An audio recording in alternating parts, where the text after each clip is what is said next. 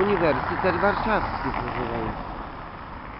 Dobrze Szydło powiedziało odnośnie Kortegardy, bo tutaj dużo z Sejmu przychodziło, że są zajęci sobą.